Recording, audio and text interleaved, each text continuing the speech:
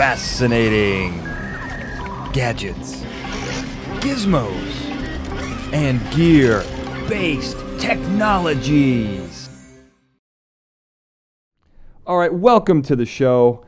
I am the analytical mastermind, Daniel J. Glenn, but you guys knew that already. What you don't know is who I'm sitting next to. I'm sitting next to my favorite physicist, a genuine certified genius, sci fi superhero scientist, Dr. Michael Dennin. Dennin, thanks for being on the program. Great to be here. And I'm also right across from me is one of history's greatest rocket scientists that I could get into my studio. Uh, he's a man of mystery. He works at an undisclosed location, can neither confirm nor deny his employer, and is probably paid through some Black Ops program. He is our enigmatic engineer, Ben Siepser. Ben, thanks for being on the program. Happy to be here. And rounding out this brain trust is Caltech's mistress of microbes, um, the baroness of bacterial biology, Dr. Brittany Needham. Brittany, thanks for being on the program today. Thanks for having me. All right, so I'm going to start this. This is this is a very important question, I think, and it, it's stuff we've talked about before, but I want to know the answer to this. Your favorite cinematic monster, uh, Brittany? I'm going with you. Oh man, I didn't have one ready. I don't know. I'm going to come back to you, even though that's you know it's frowned upon, but I can come back to you. Uh, maybe Godzilla. Godzilla? How come? Well, because I thought of him. no, he's intense. He is. Yeah. Old or new? Because the old one's not as intense. Not as intense, but I, I, I It's a man in a suit. Spoiler, spoiler alert. that's true. I'll still go old. I like it. Okay, so what do you like? The size? You like the, uh, the radioactive breath that he has a kid? What do you like? Uh, the radioactive breath. You're just making this up as you go along. You just want me to move on, don't you? All right, fine. Um, ben, what do you? Who do you like? Well, kind of along Brittany, I, I really like the kaiju in Pacific Rim. I think that was Really? Yeah, I thought that that's one of my favorite movies. I, I know it's not everybody thinks it's great, but I thought it was really cool to see all these super creative monsters that Guillermo came up with, and I don't know. They, I thought they looked really really cool. Wow. It always amazes me when someone that I think is, is incredibly smart picks a really silly movie to love. I, it always shocks me. Um, I still respect you, Ben, but um, you know Well, it's got some good engineering stuff in there too. that's true. It, you know what I don't like? The, the storyline of that movie is so cliche. oh yeah, no, the, and I d- it's just, I'm with you there. I like I like the spectacle of it. okay. That's fair because the technology's cool. Like the mo- the, the um uh, what do they call the um the mechs they get into? The- They're awesome. Yeah. Yeah. Um, they have a name. yeah, they Someone's- do have a name, and I'm forgetting it right now. Well, hope, uh, we'll figure it out. Yeah. Because the kaiju are the monsters. The kaiju are the monsters. It's a German word, I think. The Jaegers are the. There you go. Hey, oh, there it is. Nice word. Uh, all right, so you like the kaiju. Um, Dennin, what do you like? You know, as monsters, I, I assume this will count as a monster. I hope it will. Um, I, I'd have to go with Dracula. Okay, you're going Uh, old school. I'm going old original school. classic Universal. Yeah, I mean, it's just in many respects, um, he he's kind of scary, creepy, powerful, interesting abilities. Um, just as a as a monster, I think he, he's very very strong. Well, he can manipulate you. He can change form. He can Yeah. suck your blood. Uh, he's hard to kill. You know, it's all the hallmarks of, of a is. terrible monster. Yep. So that's that's where I'm going. Okay, that's fair. Um, and you didn't just think of that. That was genuine. You're not trying to scoot me along. No, no, that is that is. I, I would definitely. Right. I because you you're very specific. You said favorite monster, not favorite. You know, bad guy. Right, is right, a, right. A broader class. So Yes. and I believe Dracula does count as a monster. He does. We're, we're Yeah. counting it in there. Uh, I will tell you, mine is I love zombies, and I'll tell you why I love zombies because it's relatively plausible as far as all the monsters go. You could have some kind of even if it wasn't like they're dead and they come back to life kind of a deal. You could have you know 28 days later type virus-based zombies. Uh, they're scary because if you don't get ahead of that problem, it becomes um, a, a bigger problem that you almost can't really recover from, which makes it in, even more scary. And it also the movies that they're in really bring out the survival instinct of people. Like how are human? What is the real humanity? Um, and it's terrible and disgusting to look at. But you also need to survive. So there's there's a lot going on there. Um, Are anyway, you that's into fast or slow zombies? You mean what would I rather be up against? No, like you said, My favorite, favorite. monster. Are we subgenreing here, or are you just doing zombies? I was gonna say basic zombies. I like the fast zombies watching them because I like to see how other people would deal with them. I wouldn't want to personally deal with a fast zombie because that's they're really scary. That's intense. I mean, that changed the whole genre. Um, I think slow zombies are probably more realistic, especially if you're going with the undead route, because that's a little less G forces on the body, so it won't fall apart in the state of putrefaction or decay. Right? Sounds good. I, does the physics hold up there? That does. All right. So why am I talking about all this? Well, we are going to discuss a monster named Frankenstein. Is this possible? Are people doing it? Can people revitalize dead flesh and create human beings? And I got to tell you, the answer is almost a resounding it's a no because it's very difficult to reanimate dead flesh. But we are creating things that are very close to um, to, to Frankenstein's monster. So let's start this. Um, I think we got to go. We got to go with with Brittany on this. Back, uh, you know, biology first. Okay. How can we bring the dead back to life? Well, let's see. Obviously, we nobody's doing this, but um, science has.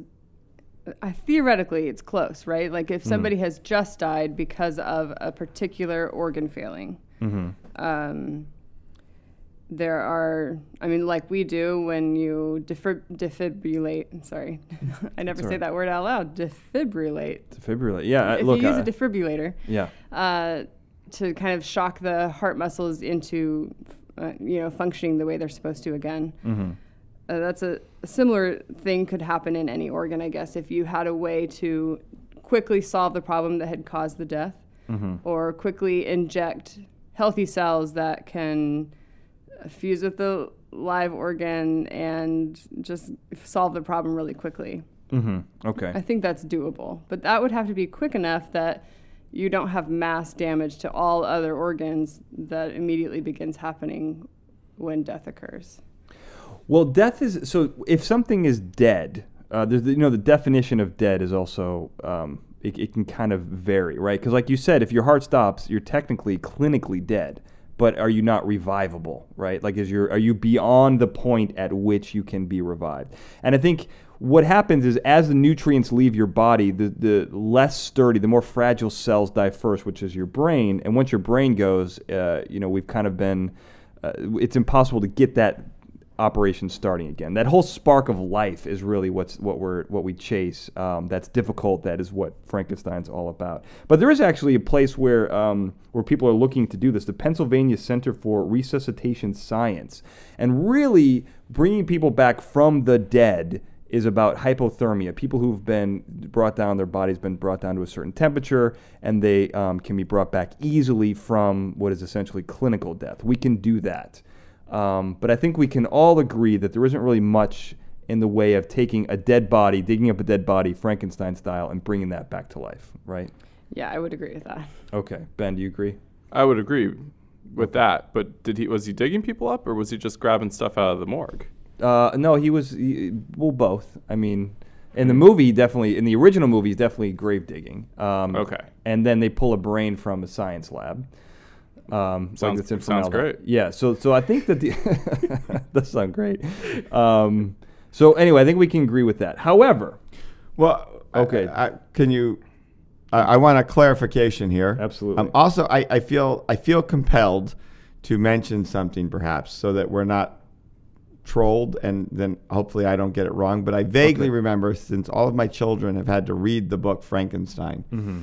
we need to be a little careful. The monster is just the monster. Frankenstein's monster, Yeah. So not Frankenstein. The although Frankenstein was the a monster. Well, yeah, but he's the scientist. okay. and the monster is just his monster. So we have to be a little careful because any you know high school kid who's currently reading it and getting yelled at by their teacher will then troll us, which we don't really want. No, that is that is true. I was going to Yeah. make that clarification. um, thought it was obvious, but I'm glad that you Yeah. brought it to the forefront. Yeah, know, We're talking uh, about Frankenstein's monster. And then the other piece, I'm I'm going to go out on a little bit of a limb here, right? If so, here's an interesting question, right? If I have all the parts Mm-hmm. That at the cellular level still have their structural integrity, Mm-hmm. right? And that that is a trick, right? As you've mentioned, it's it's the cellular death that's the problem, Mhm. and the brain does tend to go f- first. So if Dr. Frankenstein, you know, got relatively um, intact cells, um, and and then managed to get a relatively fresh brain that the the neurons hadn't degenerated. I, I'm- I'm curious what it would take to start you know the heart going and if the blood starts going and then the chemical reactions start happening um, you know it's an interesting question what that would, would would be because you would presumably then have a living organism that worked the nutrients would all be going but but you know what state would the be the brain in you know would it be just a blank slate and go from there um, so I'm going down a tricky, ethical, black, philosophical hole that we may want to quickly get back out of. No, But this is a perfect segue. Let me let me. uh, okay, then I'll just segue to you, Dan. Perfect segue because, as I mentioned before, hypothermia is a lot of times we can pull people out of this. There are there's lots of stories of people who have been clinically dead for hours, which means not breathing, no circulation. They've been at a certain temperature, and so there hasn't been the cellular death. They've been able to be revived up to two and three hours. This is incredible, right? So what you're saying is theoretically, this is your dark path, by the way, Dan, and you're going to own this. so the dark path you're saying is that if we could find suitable, compatible freshly gathered body parts and were to sew them together and somehow get the heart beating again, is it plausible that we would have our own Frankenstein's monster? A- And I think the interesting thing is if you look at it, right, the the the difference between taking our paddles, going clear, and shocking a person who's been clinically dead for say a minute, versus what Dr. Frankenstein did, is simply the difference of whether or not at the micro, microscopic level the cells are still viable. Right. Right. I mean, so in an odd way, we know the answer to the question. Dr. Frankenstein was oddly correct. The appropriate application of electricity does revive a person in Oh, the very broad sense. Yes. So the question then becomes how fresh and what sort of parts can you put together and make this still work? Right. Um, ben, do you have an engineering solution um, that involves 1.21 gigawatts of electricity? Well, you don't need that much. Uh, de- defibrillators don't, you know, you can make, there are now portable defibrillators that you can see, you know, if you're at like any school or, you know, they just, it's a little box that's on the wall and, Right. you know, it just has some big capacitors in it and it's, it charges up off the wall and you pull it off and you can shock somebody back to life pretty easily with these things. And, you know, it doesn't take much power. The heart, when you learn about what it takes to kill somebody with electricity, it actually takes very little current to disrupt your heartbeat.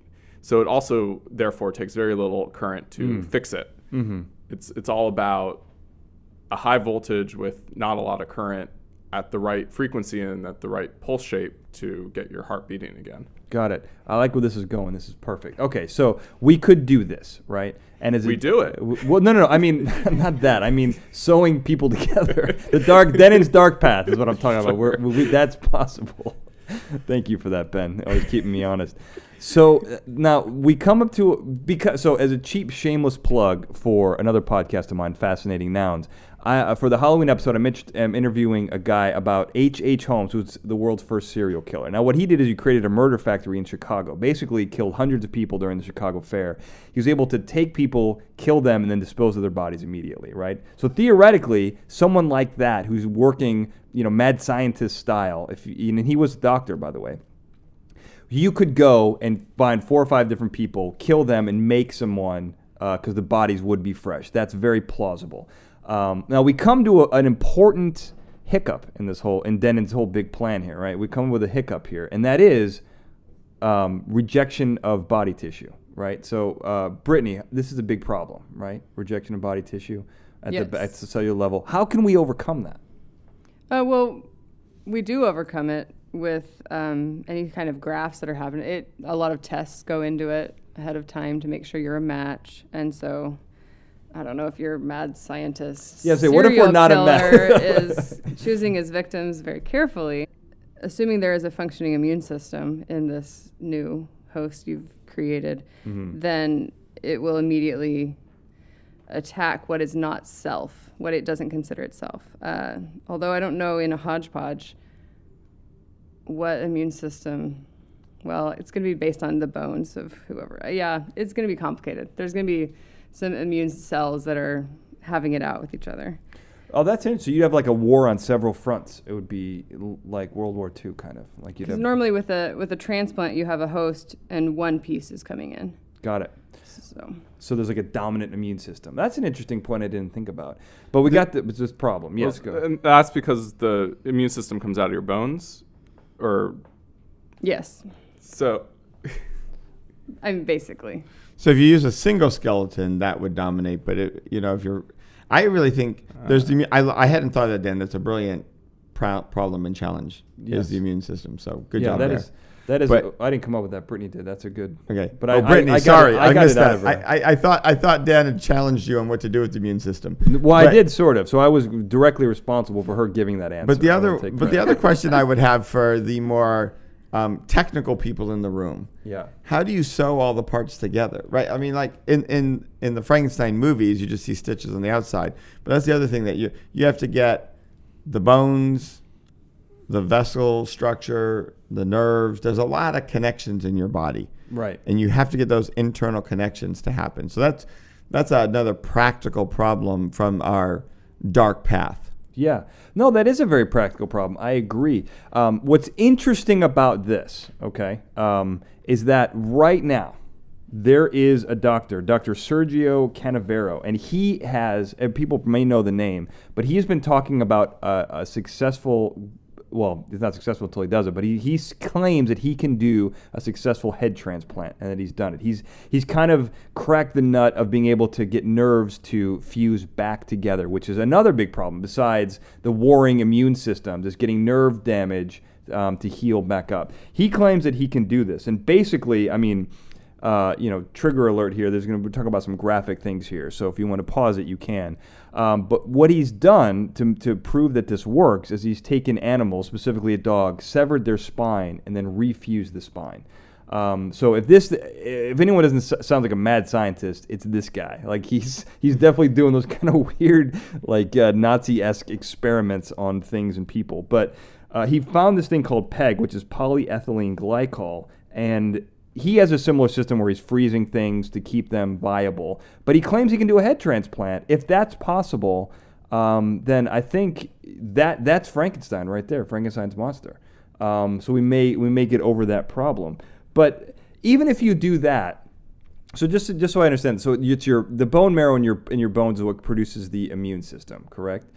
Um, and I imagine that that transplanting a head would have quite a few problems outside of that. Connecting all of that stuff is what you're saying. That's why I'm mentioning this. Is it easy to connect all that tubing and back up? I know you're not a surgeon, Brittany, but you are as close as we can get on the panel, so I'm holding you accountable for an answer. I'll go out on a limb and say it's not easy. The so, That's bold yeah, of you. the- That's very theoretically this could happen. your it's all reputation's on the line. it's all chemistry and and connecting the right things in the right ways. So if we could understand that level of complexity and time out all of that perfectly so that each piece of this body was in the perfect condition to be able to function together and that they were not going to be incompatible with each other. And then if we were able to connect all the things that needed to be connected, then theoretically that's possible Wow. maybe some of the so, so there are neurons and nerves that span a long range. So you're going to lose a lot of connections that just can't be con- connected again. But some of those things could be um, you know restored and, and developed after the reconnection happened. And there are scientists growing organs in the lab right now tr- taking tissue or stem cells and making making an organ for a transplant. So Mm-hmm. some of this Frankenstein type science is, is underway, It's but actually out there. it's just so complex. Yeah. Well, I think that is that's difficult. Putting the head back on, connecting all those things. Because I would imagine if you're connecting all the nerves, what if the, the nerve that goes to your arm is now connected to your leg? So when you're when you are revived and you think you're moving your arm, you're actually moving your leg. Like that's a possibility too. Like it's everything's kind of goofed up. Um, so I've got another way to crack this whole thing, right? So that's kind of, in my opinion, that's the primitive way to do it. But now, as as you've alluded to, Brittany, we have ways to produce this stuff in a lab, but we also have biological 3D printers. So you could theoretically create a, a creature or a monster, or I guess we always give it that evil term, but we could create a, an organism, um, human-like organism, out of uh, a bio, like basically a bioprinting them. Isn't that possible? Again, it's gonna be pretty complex because you're gonna need so many different cell types. Well, I guess if you start if you start simple and you could program it to then develop itself, that might work better. If you 3D print, you mean 3D print a finished adult? Yeah, like I mean, Yeah. like because it's essentially cloning, right? So one of the systems that they have, um, I believe it is um, BioLife 4D. So the, what they do is they've basically bioprinted a human heart, and they do it in cell, cell by cell. It's pretty incredible process. They take an MRI of your heart. They they um, do like a whole scan of it. They put it into a CAD file, which is the same thing like the engineers use. Um, ben can talk about that. Uh, and they, they take your blood cells, they induce stem cell state, and then they produce cardiac muscles, and they create a bio ink, and then squirt it in the shape of a heart and not like a Valentine heart, like an actual human heart. And then they let it grow, and these, these things will they'll sync up, and it'll turn into a human heart. Like, couldn't you do that? Like at you know, it would just take a while, but you could 3D print somebody, right? Yeah, it'd be pretty hard because you need cells for that differentiated into skin cells and cells differentiated into all the different types of cells you have in your body Yeah, but it's possible. at a very complex level. But Yeah, I think the challenge which Brittany referred to earlier is the ordinary, Mhm. right? You, you're as you as you described it, Dan. Right? There's you're not just straight printing the heart per se, right? You're using 3D printing, but there's a there's a step in there that involves stem cells and um, patterning and getting the muscle cells to occur that is unclear how you would do that like with all the individual pieces once you start building you know there's not a clear inside out there's not a clear like how do you layer this down and, and make it happen so from a 3d printing point of view it's certainly if you can solve some of the inside out problems would solve the connection problems because you'd build the connections into your 3d printing Mm-hmm. Right. Right. So that what would be really interesting is do you 3D print sort of all stem cells and what you 3D print is the directions of what to turn into. So it's like a combination of 3D printing and then growing. Well, the way this works is that it's it's a bio ink that that you, it takes your red blood cells, turns them into stem cells, and let's say it wants cardiac muscles. You're building a heart, so then it has like a tube, like basically like an ink cartridge of like cardiac muscles, right? So then you can have like an ink cartridge of skin muscles, or, or you know, and veins and arteries. But but it's just uh, the the complexity of 3D printing them all in the right place Mm-hmm. gets really challenging, I think, which is why you know I mean you can get the heart because you're just making the heart and you're making that structure and it's Yeah. all the same cell. Yeah. So I think these fall into the realm of technological challenge, which means probably someday people will be smart enough to do it. Yeah. Ben, what do you think? It, it'd be a very difficult challenge. I mean, you know, our best printers now only have, you know, like eight ink cartridges in them. So, Eight ink worth of human. yeah. So, you, you know, I, I, Brittany could pro- probably might know better, but I mean, there's probably hundreds, maybe even thousands of types of cells in your body. And just the, the level of complexity is just way, way, way higher than what we really have ever dealt with Okay, so I'm gathering from a guys, technological perspective. you guys don't like the 3D printing a human. This is this not feasible. It, not currently. I like 3D printing an organ or Mm-hmm. something to put into a human, but not not the whole organism. Okay. Well, so there is a project called the 2045 Initiative. Have you guys heard about this? I have not. So what this is basically, it's it's kind of taking the head transplant to a next level. It's it's all about studying. Um, it's it, it's about the cybernetic extension of life, right? So it's taking your brain. It's very Futurama esque. So it's taking your brain and you're putting it inside of a, ro- a robotic body, like very. It's an av. They call it an avatar, and you use a brain computer interface called BRI is what they use. So you're basically after you die, they take. Oh, no, right now, what they're trying to do. So that's up to 2045. So from 2015 to 2020, they're trying to be to create robots you can remotely control with your brain, which they're doing with like drones and things like that. Then the next step is your brain gets transplanted into it kind of like Krang from Teenage Mutant Ninja Turtles, or, or like or or Kristy Swanson from Deadly Friend, like the ultimate connection and uh, cybernetic brain connection. And then um, what they want to do is create a download of your personality that gets uploaded into a robot. So that's their whole forward thinking. But the first part of the, the second part of that is transplanting your brain into a robot, basically. Um, that's that's an interesting kind of new look at Frankenstein's monster. What do you think, Ben?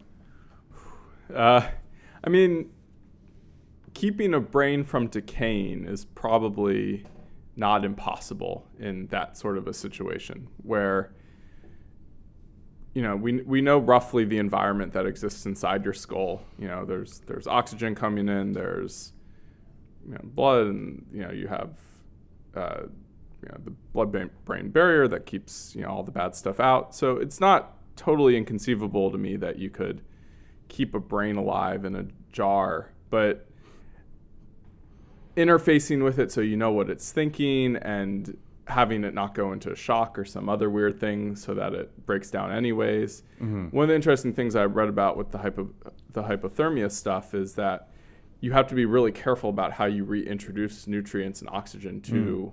separated cells because if you do it too quickly, it'll like it'll just go crazy and kill itself anyway. So hmm. there's not it's not just about recreating the environment, it's about doing the transfer property like the acclimation of it you know, kind of like when you're, you know, moving fish between aquariums, you have to you like know, slowly introduce slowly introduce it, and so it, you'll you'll probably end up with a lot of dead brains on the way yeah. to figuring it out if if it's even possible at all. Well, it's interesting to me. It's you know we're discussing whether it's feasible or not. What kind of blew my mind is how many people are actually looking into this. You know, there's another company called Reanimatech, which is a company called BioQuark, and there's two people there who are really working to kind of preserve neurofunction. So what you're saying is yeah. being able to preserve what what is memory persistence. You know, like we know how it works in a hard drive, but how does it work in a human brain? Yeah.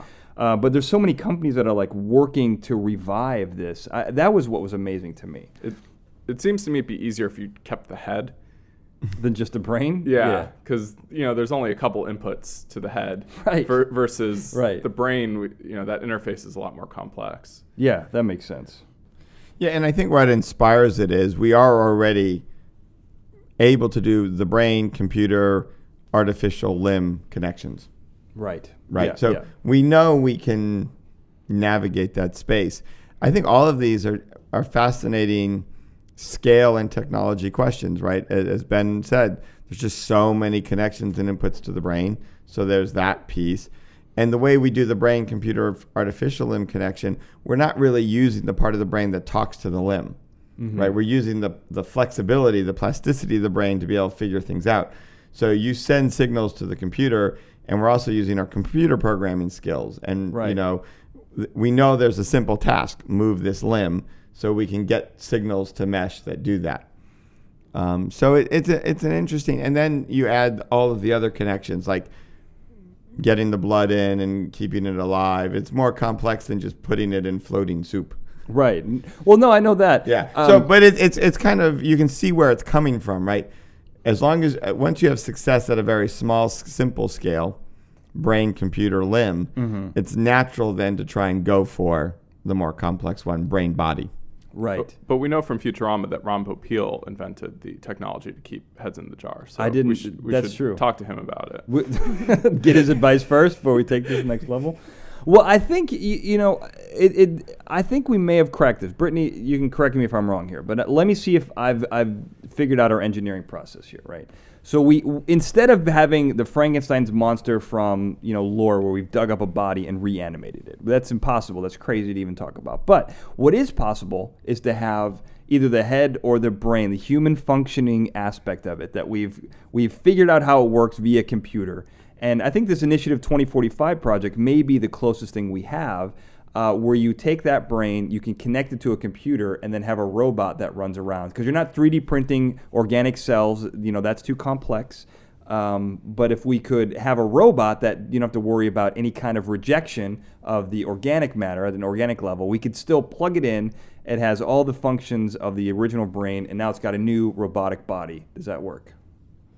I feel like those deal with problems that might be able to be solved. It's it may be the way people felt however many years ago when thinking about a heart transplant and saying that just sounds totally crazy. Right.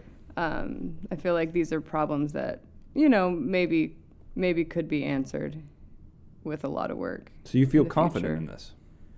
Well, I said a lot of maybes in that sentence. So I said you feel confident. yeah. so no, th- th- so it's a possibility, but I think that that's our best bet. Are we at least in agreement on that as a solution here? Yeah. I, I, I, I- still think we can go maybe human cyborg hybrid, right? Yeah, yeah, yeah. Like Terminator, go to Terminator first. You Arnold like, you know, yeah, yeah. 3D print some of your body parts, and other ones you you you are robotic, and the brain's connected to Right. these. And you take Ben's idea of just take the whole head, so you don't have to figure out as many connections. Right, there's less inputs. It's a good point. So that's the solution. Like like cybernetically, the, the, the combination of cybernetic and organic is really the future of Frankenstein. sure. yes. that- okay. With confidence. Great, Yep. thank you. I love it. Uh, we've solved it. I don't expect any of you to actually work on this, um, but at least know that we have figured this out. Uh, so if you have any questions on this, or you have something to add, or you've done this yourself in your own private laboratory, how can you get in touch with us, Dennin? So I'm at Dennin Michael on Twitter and at Prof P O F Dennin Michael on Facebook. That's short for professor. Ben. Uh, you can get to me on Instagram and Twitter at bsiepser, B S I E P S E R. And Brittany. I'm on Instagram at bitty383 or email bneedham at caltech.edu. Does 383 have a significance at all? Oh, no. It's like It does, my doesn't it? favorite number when I was in seventh grade or something like that. I don't It's 383? I don't, I don't remember. I, I honestly, no, Okay. no right. clue. I won't hold you I don't it. know why I've held on to it. That's to be it must mean something to you. It's it's a mystical number for you. Um, and I am on Facebook at at, analy- at at Facebook at Analytical Mastermind. I am on Twitter at Daniel J Glenn and Instagram at the Daniel J Glenn. Uh, this was a big one, guys. Thank you for putting this together for me, You're welcome. and I want to thank everyone for listening. Have a good night.